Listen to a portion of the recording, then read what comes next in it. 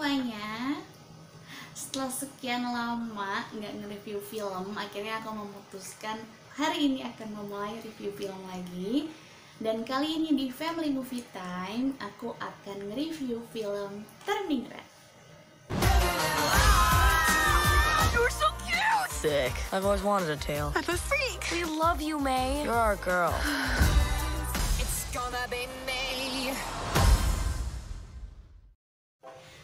ini aku ditemenin anak aku, Hunter. Ini dia lagi makan sore.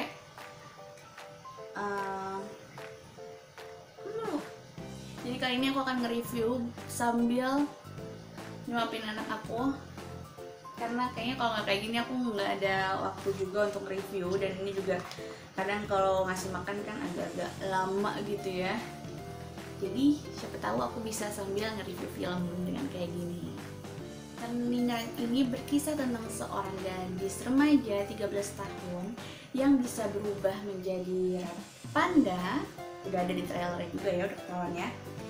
Dan juga di situ dibumbui dengan pergolakan batinnya sebagai seorang remaja juga pergolakan atau perselisihan dengan keluarganya terutama orang tuanya aku suka banget sama ceritanya karena menurut aku ceritanya ini bisa relate sama semua orang gak cuman untuk yang usianya 13 tahun atau yang anak-anak gitu tapi juga bisa relate dengan orang dewasa kayak kita apalagi juga buat seorang ibu kayak aku kenapa?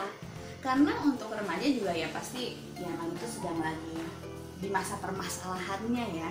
Tapi untuk orang dewasa juga bisa nostalgia waktu pas saat-saat kita remaja itu kayak gimana hubungan kita dengan teman-teman kita gimana konflik kita dengan orang tua kita kayak gimana di saat kita menginginkan sesuatu ternyata ada selisih paham kayak gimana. Dan sebagai seorang ibu aku selama nonton ini sepanjang film aku tuh kayak ya, jadi kayak berpikir dan kepikiran untuk nanti pas Hunter udah gede udah remaja itu aku bakal kayak gimana ngedidiknya atau eh, kalau ada masalah tuh bakal kayak gimana. Ini bener-bener jadi pembelajaran aku banget sih. Aku bisa belajar dari film ini untuk karakternya aku suka banget dengan empat sekawan itu. Aku suka dengan Mei Mei aku suka dengan Ebi temennya yang paling ekspresif suka banget banget.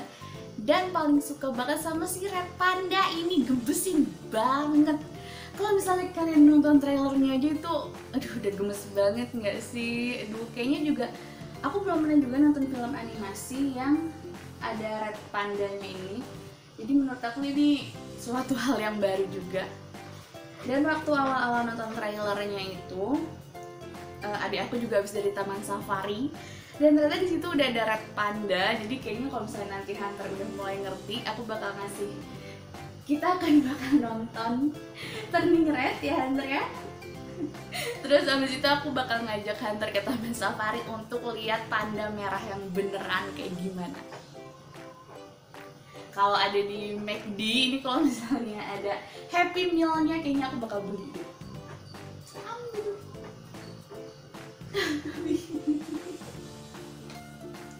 Makannya Hunter udah habis tapi kayaknya dia masih lapar tadi masih mau makan jadi aku kasih buah.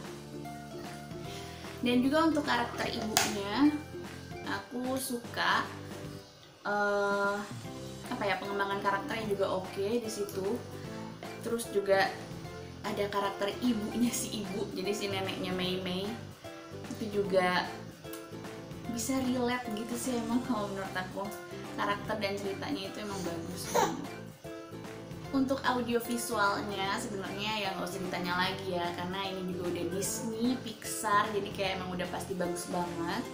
Kalau untuk musik scoringnya juga oke masuk. Untuk soundtracknya ya lagu-lagunya juga masuk. Ini dengan latar di tahun 2002 btw dan untuk visualnya bagus banget. Itu halus banget. Aku suka penggambaran karakternya jadi emang makin apa ya imut gitu loh. Apalagi si pandanya ini bulu-bulunya itu kelihatan halus banget.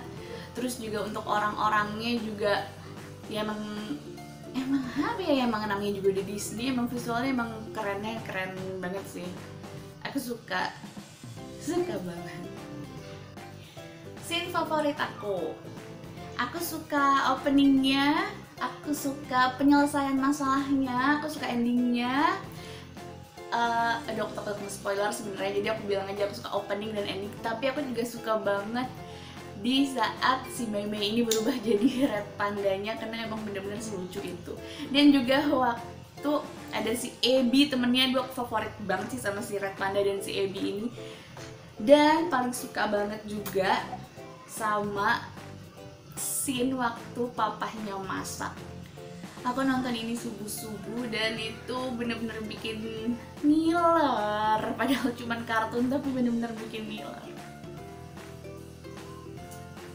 segitu dulu kayaknya family movie time aku kali ini. Segitu dulu review Turning Red dari aku. Menurut aku ini film yang cocok banget banget ditonton sama kalian sekeluarga. Apalagi kalau misalnya lagi punya anak remaja perempuan. Anak remaja lah ya 13 tahun lah. Ini cocok banget kalau misalnya boleh kasih nilai aku bakal kasih nilai empat setengah dari 5 untuk film Turning Red karena memang sebagus itu. Ini ada di Disney Plus Hotstar btw kalau kalian mau nonton. Kayaknya gitu aja. Nanti juga mau mandi abis ini. Makasih yang udah nonton sampai sini. Boleh banget kalian like, comment, share, dan subscribe. Insya Allah aku bakal bikin lagi Aku pingin banget bisa bikin rutin video di Youtube ini. Semoga bisa. Doain ya. Thank you yang udah nonton sampai sini. Selamat sejahtera dan berbahagia buat kalian semua. Dadah